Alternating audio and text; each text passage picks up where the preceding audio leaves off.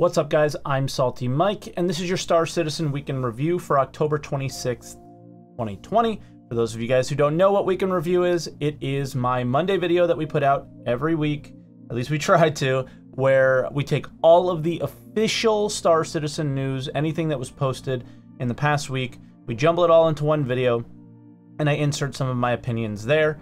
So if you do enjoy this video, make sure you hit the like button, subscribe, leave comments below on anything we talk about. As always, all of the links for everything we discuss will be in the description.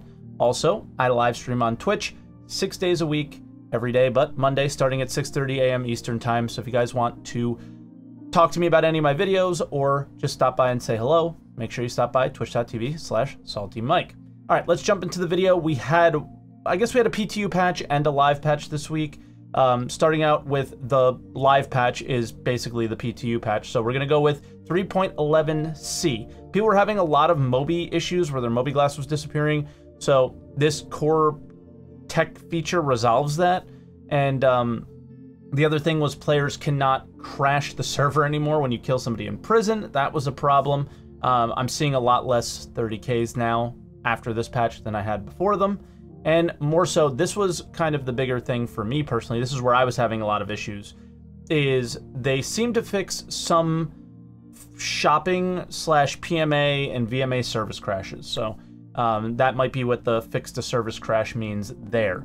Moving on to roadmap updates. This is the, I guess, semi depressing um, roadmap roundup that we got this week. First off, they added a few things to the 312 roadmap things that we already knew about, but now that they're officially there. The Behring A03 Sniper, which we saw, in the sneak peek last week. There is a Behring FS9 LMG as well added to the roadmap. Vehicle entry identification. Um, apparently, I guess people were having a hard time finding doors on some ships, maybe the larger ships.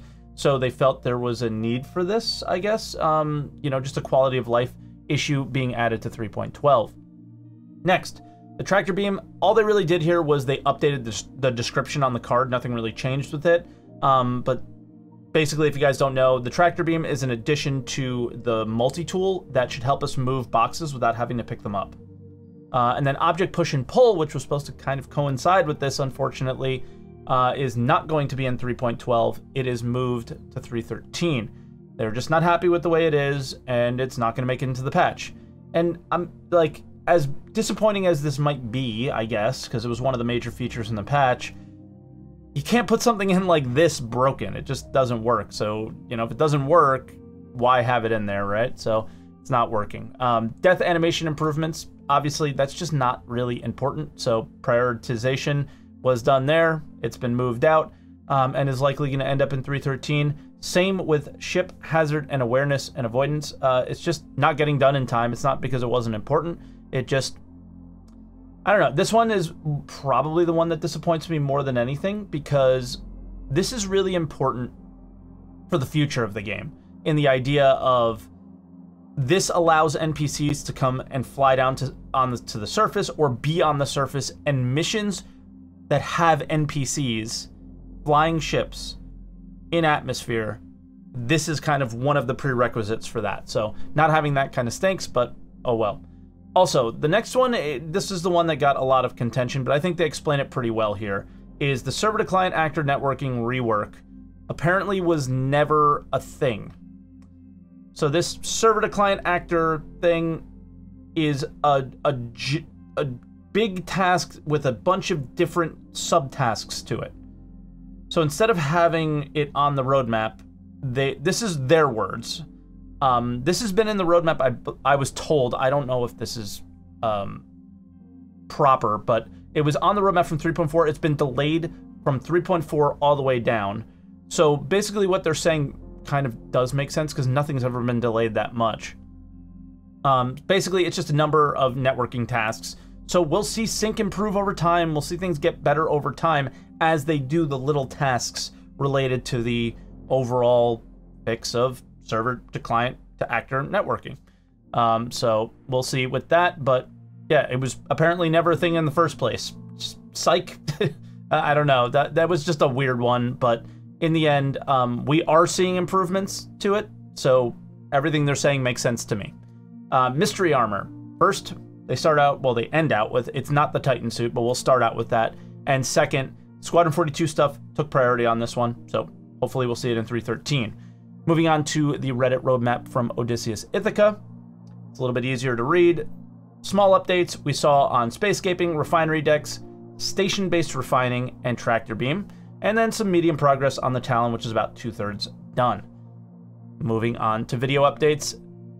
There comes a time where Inside Star Citizen is so good to me, I guess, because it was a mining thing, that we pretty much touch on almost everything that they touched on, and we don't really take any of. There's not much fluff there to take out. So, mining updates. Uh, they obviously moved to building blocks, which, if you don't know, it's their UI system that makes life much easier for the devs to iterate on it and to add and subtract things from it as things are, you know, taken in and out of the game.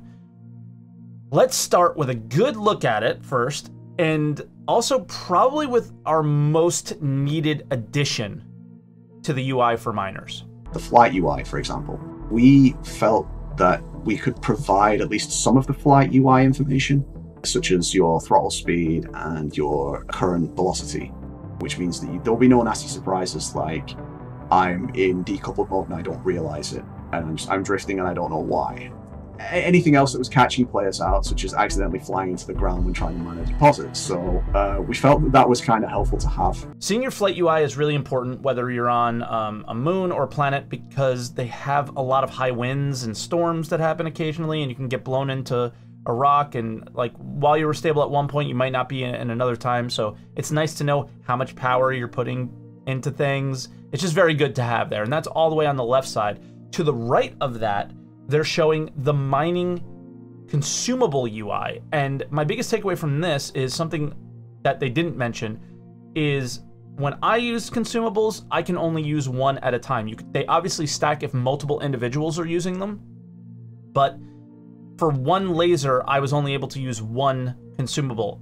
This UI seems to show otherwise, so I'm looking forward to seeing how that comes in to 3.12 if you're able to stack yourself because that makes some consumables worth actually taking with you, where others in the past weren't, like the instability and um, resistance ones. A lot of times maybe weren't as important to take, but now they can. Now that you can stack them, they're kind of more usable. Uh, next is, in my opinion, likely the best change is the cargo readout. In addition to that, we also felt that the readability of what you were actually mining was not 100% where it could be we had the cargo hold um, element in there, which originally was just an SCU readout and the progress bar of 0 to 100%.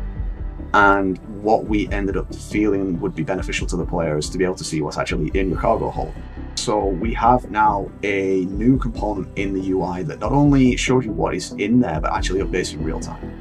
Again, very similar to this, we added uh, the functionality of viewing whether something is volatile in there and whether there's a danger.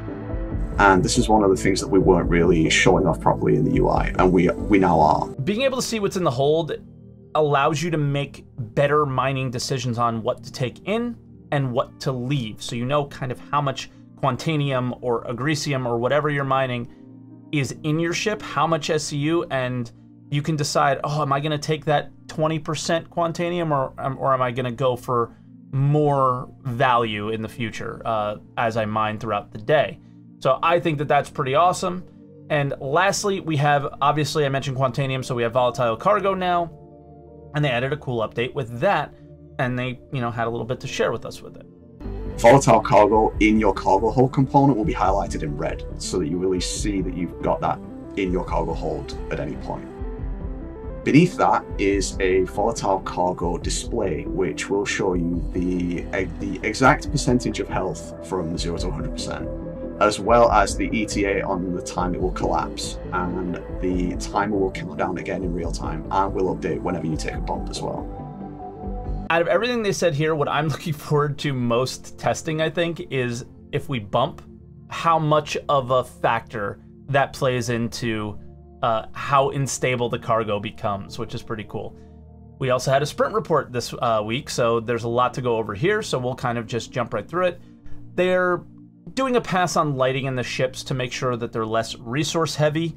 They also uh, had the weapons concept team make multiple weapons that were not lethal. I feel like there's more than what we saw here, but they showed us two a taser and a med gun. Now, the med gun is the most interesting to me. As Jared mentioned, it was a beam.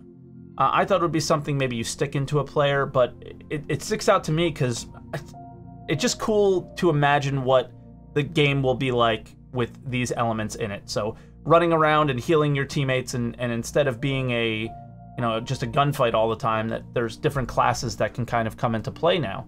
Uh, the props team is working on damage sensitive, time sensitive, and quantum sensitive cargo items. We've seen all these before, but this is the first time they explained what each one actually was.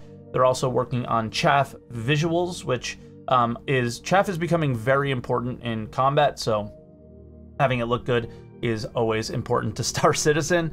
Fire propagation, speaking of looking good, is looking pretty wild now, coming from what we saw in the past to what we're seeing now. It's uh, pretty crazy, so can't wait to kind of see what happens with that whenever it does end up in the game.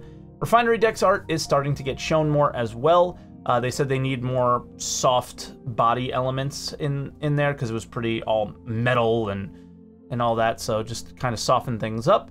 And uh, for me personally, I, I, think cargo decks did not really hit very well in Star Citizen 3.11. Uh, I'm just hoping refineries have more functionality than cargo decks because there's really no purpose to go to cargo cargo decks at the moment. Uh, updating derelict ships as well. This is just extra work for people that had more time, is what it sounded like, um, to just make sure that they look more derelict than they did in the past. Ship to station docking concept was approved that we've seen in a previous sprint report and now they're figuring out where to put them on stations. Uh, they want there to be nice views, not just from the dock, but also from the station to see people docking. Uh, so they're kind of trying to figure out what works best with that. We also had a Star Citizen Live this week, but it was a Jared and Jay Lee episode, which are always a must watch, but they usually aren't the most like what's going on with Star Citizen heavy discussion. So, link as always will be in the description. You got to check it out. It's down below. Other updates this week. Scanning discussion with Mark Abent. This one was pretty cool. He starts out with just a kind of a brief explanation on what scanning is and how it what it is versus radar, uh, and that you can also mask your signature on larger ships now, I believe, which apparently is in. So I kind of have to test this and try it. I don't know if it's in for sure. Uh, then the thread has a few more questions from uh, a lot of prominent members of the Star Citizen community, and we had a few questions asked. White Snake, who's been on ATC, uh, asked about a few things, and I guess what we got here is that ping visuals are getting a huge overhaul, which is obviously needed. Anybody who's used scanning, they're kind of an eyesore, and that the limitations right now to how far you can ping is a tech limitation, and that may be resolved in the future, but it sounds like a kind of who knows kind of thing um, at the moment. We also had a Theaters of War update this week, but as always, they're not really saying anything that they don't say normally. It's great for balance, and apparently it's great for balance without us playing it. Uh, so it'll be here soon, and they have a small team, so just be patient. It's the same thing. Um, it is a disappointment, but it is what it is. We also had a sneak peek this week, handcuffs, which apply. I hope implies that we can use them uh, at some point, and uh, I think that would be really awesome for pirates and bounty hunters and people just trolling. DayZ vibes, anyone? I'm, I'm getting DayZ vibes from that.